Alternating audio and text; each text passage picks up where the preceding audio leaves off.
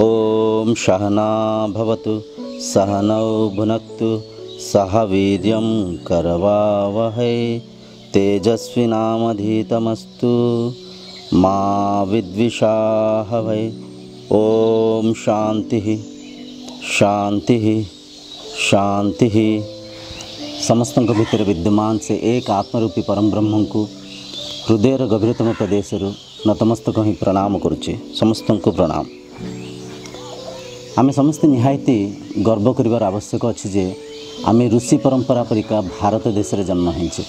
ହଁ ଆଜ୍ଞା।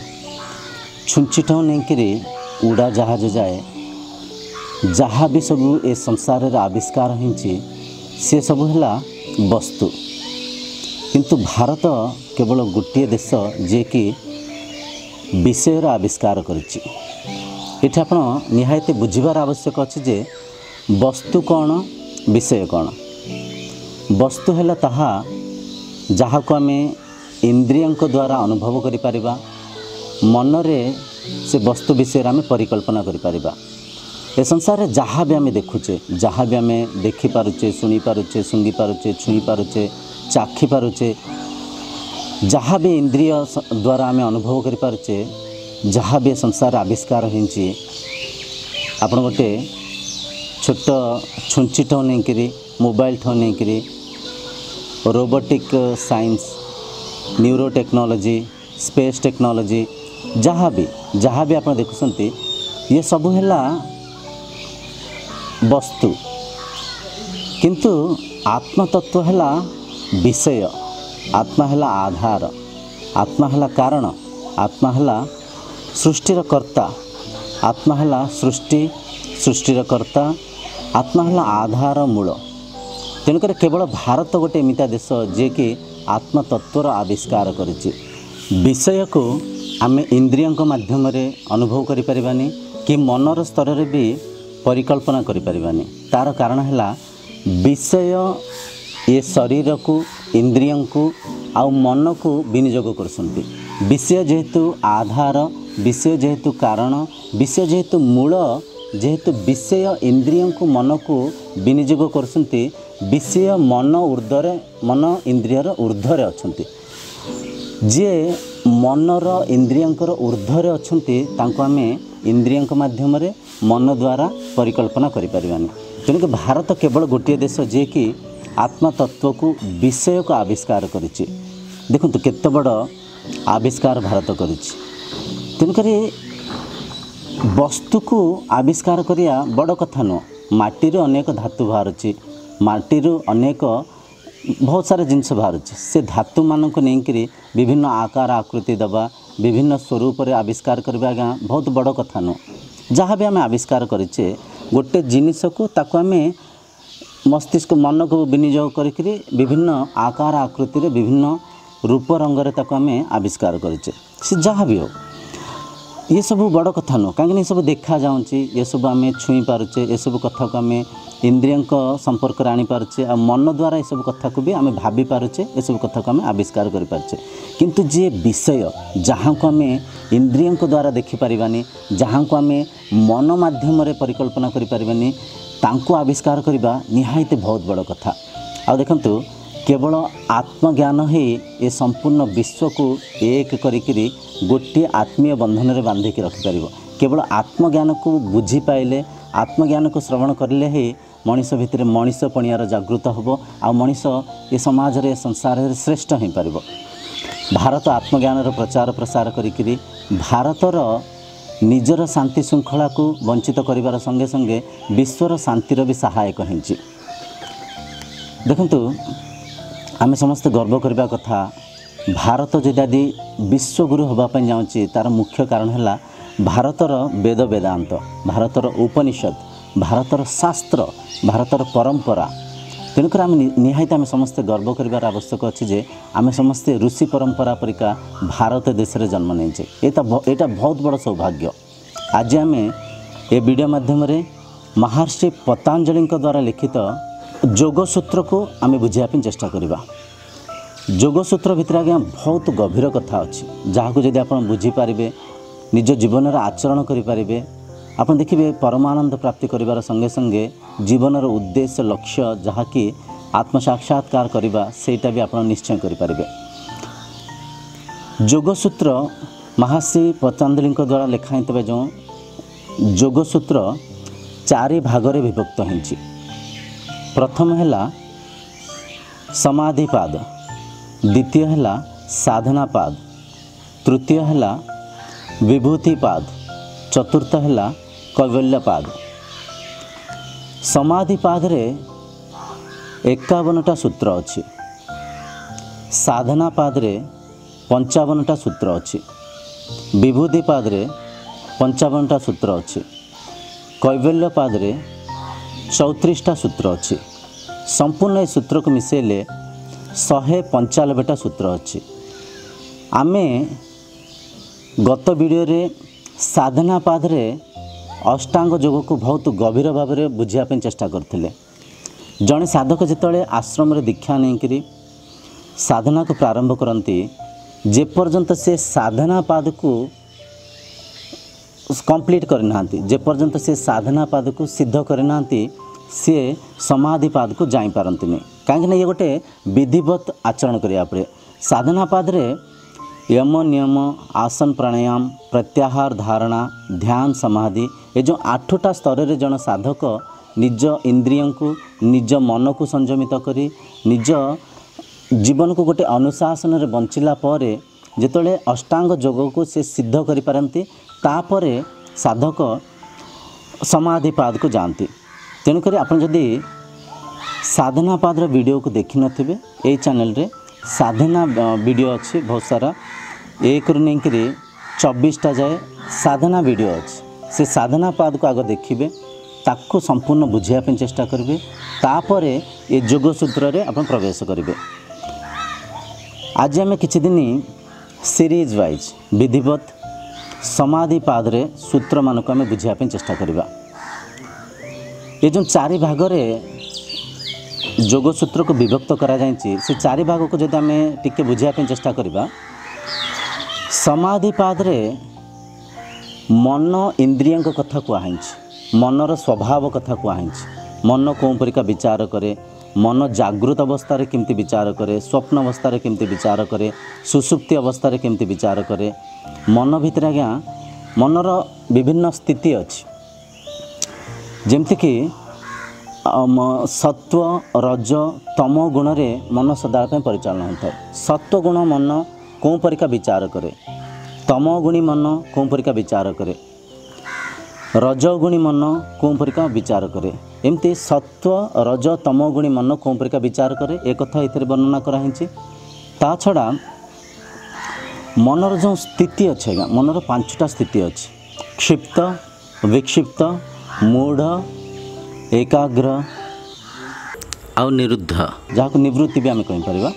ତେଣୁକରି ଏ ଯେଉଁ ପାଞ୍ଚଟା ସ୍ଥିତିରେ ମନ କେଉଁ ପରିକା ରହେ ସେ କଥା ଏଥିରେ ବର୍ଣ୍ଣନା କରାହେଇଛି।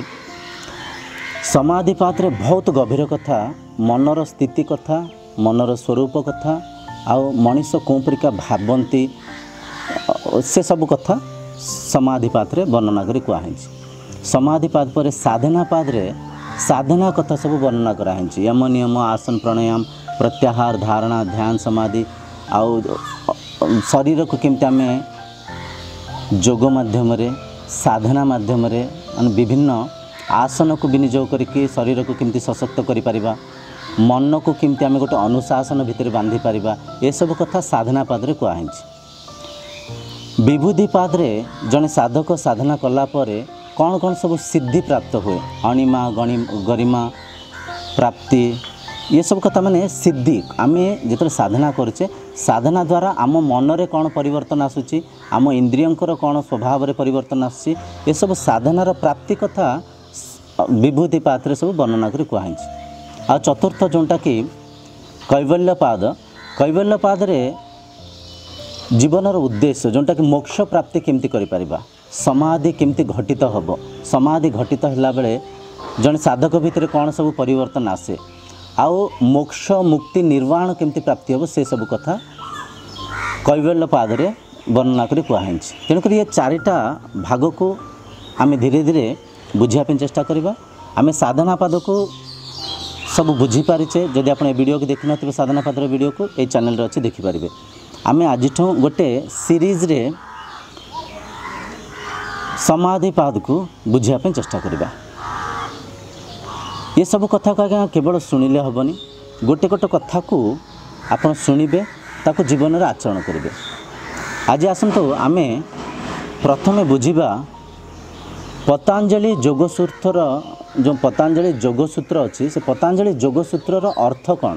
ପତାଞ୍ଜଳି ଯୋଗସୂତ୍ରକୁ ଯଦି ଆମେ ବୁଝିବା ପାଇଁ ଚେଷ୍ଟା କରିବା ଏଥିରେ ତିନିଟା ଶବ୍ଦ ଅଛି। ପତାଞ୍ଜଳି ଯୁକ୍ତ ଯୋଗ ଯୁକ୍ତ ସୂତ୍ର। ପତାଞ୍ଜଳି ହେଲେ ଜଣେ ଋଷିଙ୍କ ନାମ ଆଉ ପତାଞ୍ଜଳି ହେଲା ଗୋଟେ ଅଧିକାର ମଧ୍ୟ। ଯିଏ ଷଡ଼ଶାସ୍ତ୍ରକୁ ଅଭ୍ୟସ୍ତ କରି ଯିଏ ସାଧନାର ସିଦ୍ଧି ପ୍ରାପ୍ତ କରି ଯିଏ ବେଦାନ୍ତ ବେଦ ଉପନିଷଦ ଦର୍ଶନ ଶାସ୍ତ୍ର ମୀମାଂସା ଶାସ୍ତ୍ର ଉତ୍ତର ମୀମାଂସା ପୂର୍ବ ମୀମାଂସା ଏସବୁ ଶାସ୍ତ୍ରକୁ ଅଧ୍ୟୟନ କରିଥାନ୍ତି। ସିଏ ପତାଞ୍ଜଳିର ଅଧିକାରୀ ହେଇଥାନ୍ତି। ପତାଞ୍ଜଳି ହେଲା ଗୋଟେ ଅଧିକାର। ଆଉ ଦେଖନ୍ତୁ ମହର୍ଷି ପତାଞ୍ଜଳି ଯିଏ ଥିଲେ ସିଏ ଯୋଗକୁ ଆବିଷ୍କାର କରିନଥିଲେ। ଯୋଗକୁ ଗୋଟେ ବିଧିବତ ସାଧନା ଦ୍ୱାରା ଶିଖିବା ପାଇଁ ଗୋଟେ ଯୋଗର ଗୋଟେ ଷ୍ଟ୍ରକ୍ଚର୍ ଦେଇଥିଲେ ଗୋଟେ ଢାଞ୍ଚା ଦେଇଥିଲେ। ତେଣୁକରି ପତାଞ୍ଜଳି ଜଣେ ଋଷିଙ୍କ ନାମ ଆଉ ପତଞ୍ଜଳି ଗୋଟେ ଅଧିକାର ମଧ୍ୟ। ଯେମିତି ଆପଣ ପି ଏଚ୍ ଡ଼ି କମ୍ପ୍ଲିଟ୍ କଲା ପରେ ଆପଣଙ୍କୁ ଡକ୍ଟରେଟ୍ ମିଳୁଛେ। ଆପଣ ଗୋଟେ ଡକ୍ଟର ବୋଲିକିରି ଚିହ୍ନା ପରିଚୟ ହେଉଛନ୍ତି। ଆପଣ ଏମ୍ ବି ବି ଏସ୍ କଲା ପରେ ଆପଣ ଡକ୍ଟର ହେଉଛନ୍ତି ଆପଣ ଇଞ୍ଜିନିୟର ହେଉଛନ୍ତି। ଯେମିତି ଇଞ୍ଜିନିୟର ଡକ୍ଟର ଆଚାର୍ଯ୍ୟ ଏସବୁ ଗୋଟେ ଅଧିକାର ସେମିତି ପତାଞ୍ଜଳି ବି ଗୋଟେ ଅଧିକାର। ଦ୍ୱିତୀୟ ହେଲା ଯୋଗ। ଯୋଗ ଆଜ୍ଞା ଯୁକ୍ତ କରିବା। ଯୋଗ ହେଲା ଯୋଡ଼ିବା। ଯୋଗ ଯୁକ୍ତ କ'ଣ କରିବା? ମନକୁ ଚେତନା ସହିତ ମନକୁ ଆତ୍ମା ସହିତ ଯୋଡ଼ିବା ହିଁ ଯୋଗ। ମନ ଦେଖନ୍ତୁ ସଦାବେଳେ ପାଇଁ ଭୌତିକ ସଂସାରର ବିଚାର ଭିତରେ ହଜି ମଜିକିରି ରାଗ ଦ୍ୱେଷରେ ସଦା ସର୍ବଦା ସଂଶୟ କରୁଥାଏ। ଭଲ ମନ୍ଦକୁ ସଦାବେଳେ ପାଇଁ ତର୍ଜମା କରୁଥାଏ। ଆଉ କେତେବେଳେ ଦୁଃଖିତ ହେଉଥାଏ ତ କେତେବେଳେ ସୁଖିତ ହେଉଥାଏ ତେଣୁକରି ମନର ବିଚାରକୁ ନିର୍ବିଚାର ସ୍ଥିତିକୁ ନେଇକରି ମନକୁ ତା ସ୍ୱାମୀ ସାଙ୍ଗରେ ମନକୁ ତା ଦ୍ରଷ୍ଟା ସାଙ୍ଗରେ ମନକୁ ତା ବ୍ରହ୍ମ ଚେତନା ସାଙ୍ଗରେ ଏକ କରିବାର ଏ ବିଧିକୁ ହିଁ ଯୋଗ କୁହାଯାଏ। ଯୋଗ ହେଲା ଯୁକ୍ତ କରିବା। ମନକୁ ବ୍ରହ୍ମ ସହିତ ମନକୁ ଚେତନା ସହିତ ଜୀବକୁ ପରମ ସହିତ। ଜୀବ କ'ଣ? ଜୀବ ହେଲା ମନ। ପରମ କ'ଣ? ପରମ ହେଲା ବ୍ରହ୍ମ। ଜୀବକୁ ପରମ ସହିତ ମନକୁ ବ୍ରହ୍ମ ସହିତ ଯୁକ୍ତ କରିବାର ସମାହିତ କରିବାର ଏ ବିଧିକୁ ହିଁ ଯୋଗ କରା କୁହାଯାଏ। ତେଣୁକରି ପତାଞ୍ଜଳି ଆମେ ବୁଝିପାରିଲେ ଗୋଟେ ଋଷିଙ୍କର ନାମ ଆଉ ପତାଞ୍ଜଳି ହେଲା ଗୋଟେ ଅଧିକାର ମଧ୍ୟ। ଆଉ ଯୋଗ ହେଲା ମନକୁ ଚେତନା ସାଙ୍ଗରେ ଜୀବକୁ ପରମ ସାଙ୍ଗରେ ମନକୁ ଚୈତନ୍ୟ ବ୍ରହ୍ମ ସାଙ୍ଗରେ ସମାହିତ କରିକିରି ଏକ କରିବାର ବିଧିବିଧାନକୁ ହିଁ ଯୋଗ କୁହାଯାଏ। ସୂତ୍ର ଆଜ୍ଞା ଗୋଟେ ଛୋଟ ବାକ୍ୟ ଭିତରେ ଅନେକ ଅର୍ଥକୁ ସମାହିତ କରିକିରି କହିବାର ସେ ବିଧାନକୁ ହିଁ ସୂତ୍ର କୁହାଯାଏ।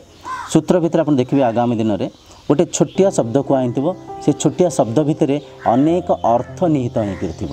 ତେଣୁକରି ସୂତ୍ର ହେଲା ମନର ସ୍ଥିତିକି ବୁଝେଇବା ପାଇଁ ଛୋଟ ଛୋଟ ଶବ୍ଦ ମାଧ୍ୟମରେ ଛୋଟ ଛୋଟ ମନ୍ତ୍ର ମାଧ୍ୟମରେ କରାଯାଇଥିବା ଯେଉଁ ବିଧାନକୁ ସୂତ୍ର କହୁଛେ ଆଶା କରୁଛି ବୁଝିପାରୁଥିବେ ପତାଞ୍ଜଳି ଯୋଗସୂତ୍ର ହେଲା ମହର୍ଷି ପତାଞ୍ଜଳିଙ୍କ ଦ୍ୱାରା ଗୋଟିଏ ବିଧିବତ ତିଆରି କରାଯାଇଥିବା ଯୋଗର ନିୟମକୁ ଏଠି ବର୍ଣ୍ଣନା କରାଯାଇଛି। ପତାଞ୍ଜଳି ଯୋଗସୂତ୍ରକୁ ଶିଖିବା ଦ୍ୱାରା ଆମ ଲାଭ କ'ଣ ହେବ? ଏ କଥାକୁ ବି ଆମେ ଜାଣିବା ନିହାତି ଆବଶ୍ୟକ। କାହିଁକିନା ମଣିଷର ମନ ଯେପର୍ଯ୍ୟନ୍ତ ଲାଭ କ'ଣ ନ ବୁଝେ ସେ ସେ ଜିନିଷକୁ ଆଚରଣ କରିବା ପାଇଁ ଚେଷ୍ଟା ପ୍ରଚେଷ୍ଟା କରନ୍ତୁନି। ତେଣୁକରି ପତାଞ୍ଜଳି ଯୋଗସୂତ୍ରକୁ ଯଦି ଆପଣ ବହୁତ ଗଭୀର ଭାବରେ ଯଦି ବୁଝିପାରିବେ ତାକୁ ମନର ସ୍ତରରେ ତାକୁ ଆକଳନ କରି ସାଧନାରେ ଯଦି ଆପଣ ଆଚରଣ କରିପାରିବେ ଆପଣଙ୍କ ଭିତରେ ଦେଖିବେ ବହୁତ ପରିବର୍ତ୍ତନ ଆସିବ। ପତାଞ୍ଜଳି ଯୋଗସୂତ୍ରକୁ ବୁଝିବା ଦ୍ୱାରା ସର୍ବପ୍ରଥମେ ତ ଆପଣଙ୍କ ନିଜ ମନର ସ୍ଥିତିକୁ ଆପଣ ବୁଝିପାରିବେ। ମନ ଆପଣଙ୍କ ମନ କେଉଁ ସ୍ଥିତିରେ ଅଛି? ସେ ସ୍ଥିତିକୁ ଆପଣ ବୁଝିପାରିବେ। ତା ସଙ୍ଗେ ସଙ୍ଗେ ପତାଞ୍ଜଳି ଯୋଗସୂତ୍ରକୁ ଯେତେବେଳେ ଆପଣ ଗୋଟେ ଗୋଟେ କଥାକୁ ଧୀରେ ଧୀରେ ବୁଝିପାରିବେ ମନର କଥାକୁ ଜାଣିପାରିବେ ଆପଣଙ୍କ ସମ୍ପର୍କରେ ଯିଏ ସବୁ ଅଛନ୍ତି ଆପଣଙ୍କ ପରିବାର ଆପଣଙ୍କ ସାଙ୍ଗସାଥି আপনার বন্ধুমিত্র, আপনার যে অফিসে কি যেটি বি কাম কার্য করছেন যিয়ে বি আপনার সম্পর্কের যিয়ে বি আপনার সম্বন্ধের অনেক তাঁক মনর স্থিতি কি আপনার বুঝিপারে আপর্যন্ত আপনার মন কোণ বুঝি না মনর স্থিতি কোণ বুঝি না মন উপরে আপনার নিয়ন্ত্রণ করে পারে তেমকরি পতাঞ্জলি যোগসূত্রের গোটে গোটে সূত্রক যেত আপনার বুঝিপারে নিজ মন কথা ନିଜ ସମ୍ପର୍କରେ ଥିବା ବ୍ୟକ୍ତିମାନଙ୍କ ମନ କଥାକୁ ଆପଣ ବୁଝିପାରିବେ। ଆଉ ନିଜ ମନ ଉପରେ ବହୁତ ସହଜ ରୂପରେ ବହୁତ ସୂକ୍ଷ୍ମ ଭାବରେ ସାଧନା କରିକିରି ମନକୁ ସ୍ୱଚ୍ଛ ମନକୁ ନିର୍ମଳ ମନକୁ ନିୟନ୍ତ୍ରଣ କରିପାରିବେ। ଆଉ ଏ କଥା ବୁଝି ନିଅନ୍ତୁ ସାଧନାରେ ସମ୍ପୂର୍ଣ୍ଣ ସାଧନା ହେଲା ମନ ଉପରେ ହିଁ। ଯେଉଁ ଶରୀର ଯେଉଁ ସାଧକ ନିଜ ମନ ଇନ୍ଦ୍ରିୟଙ୍କୁ ନିୟନ୍ତ୍ରଣ କରିପାରିଛନ୍ତି ମନକୁ ଅମନ କରିପାରିଛନ୍ତି ମନର ବିଚାରକୁ ନିର୍ବିଚାର ନିର୍ବିକଳ୍ପ ସ୍ଥିତିକୁ ନେଇପାରିକି ନିଜେ ସମାଧିସ୍ଥ ହୋଇପାରିଛନ୍ତି ସିଏ ଆତ୍ମ ସାକ୍ଷାତକାର କରିପାରିଛନ୍ତି କାହିଁକିନା ଦେଖନ୍ତୁ ଶରୀର ଇନ୍ଦ୍ରିୟ ମନ ତାପରେ ବ୍ରହ୍ମ ଅଛନ୍ତି ତାପରେ ଆତ୍ମା ଅଛନ୍ତି ଆମେ ଯେଉଁ ଈଶ୍ୱରୀୟ ପ୍ରାପ୍ତି କହୁଛେ ଆମେ ଯେଉଁ ଆତ୍ମ ସାକ୍ଷାତକାର କହୁଛେ ଯେପର୍ଯ୍ୟନ୍ତ ମନକୁ ନିର୍ବିଚାର ନିର୍ବିଜ ନିର୍ବି ନିର୍ବିକଳ୍ପ ସମାଧିସ୍ଥ ଆମେ କରିନେ ସେ ପର୍ଯ୍ୟନ୍ତ ଆମେ ଈଶ୍ୱର ପ୍ରାପ୍ତି କରିପାରିବାନି ଆତ୍ମଦର୍ଶନ ତୁରୀୟ ଦର୍ଶନ କରିପାରିବାନି ତେଣୁକରି ଏଠି ଅନେକ ଲାଭ ଅଛି। ନିଜ ମନକୁ ଆପଣ ବୁଝିପାରିବେ ଆପଣଙ୍କ ସମ୍ପର୍କରେ ଥିବା ଅନ୍ୟମାନଙ୍କ ମନର ସ୍ଥିତିକୁ ବି ଆପଣ ବୁଝିପାରିବେ ଆଉ ମନକୁ ସୁଧାରି ପାରିବେ ମନକୁ ଗୋଟେ ଅନୁଶାସନ ଭିତରେ ଅନୁଶାସିତ କରିପାରିବେ ଯାହା ପ୍ରତିଫଳ ପରିଣାମ ସ୍ୱରୂପ ନିଜେ ଶାନ୍ତି ଆନନ୍ଦରେ ରହିପାରିବେ ଆଉ ଜୀବନର ଉଦ୍ଦେଶ୍ୟ ଯେଉଁ ଆତ୍ମ ସାକ୍ଷାତକାର କରିବା ସେ ଆତ୍ମ ସାକ୍ଷାତକାର ବି କରିପାରିବେ। ତେଣୁକରି ଏ ଯେଉଁ ଗୋଟେ ଗୋଟେ ଭିଡ଼ିଓକୁ ଯେତେବେଳେ ଆପଣ ଦେଖିବେ ଶାନ୍ତ ମନରେ ଦେଖିବେ ଆଉ ଏ ସମ୍ପୂର୍ଣ୍ଣ କଥାକୁ ଆପଣ ଆଚରଣ କରିବେ ଯେତେବେଳେ ସେତେବେଳେ ଯାଇକରି କେବଳ ଆ ଲାଭକୁ ଲାଭାନ୍ୱିତ ହୋଇପାରିବେ। ଆଶା କରୁଛି ଆଜି ଆପଣ ବୁଝିପାରିଥିବେ। ଆଗାମୀ ଭିଡ଼ିଓରେ ଆମେ ଗୋଟେ ଗୋଟେ ସୂତ୍ରକୁ ବହୁତ ଗଭୀର ଭାବରେ ଚର୍ଚ୍ଚା କରିବା ଆଉ ତାକୁ ବୁଝିବା। ସେ ସୂତ୍ରକୁ ବୁଝିବା ଦ୍ୱାରା ନିଜ ମନକୁ ଆମେ ବୁଝିବା ନିଜ ମନକୁ ଆମେ ନିୟନ୍ତ୍ରଣ କରିବା ପାଇଁ ଚେଷ୍ଟା କରିବା। ଆଗାମୀ ଭିଡ଼ିଓ ଯାଏ ଆପଣଙ୍କଠୁ ବିଦାୟ ମାଗୁଛି। ସେ ପର୍ଯ୍ୟନ୍ତ ପ୍ରଣାମ।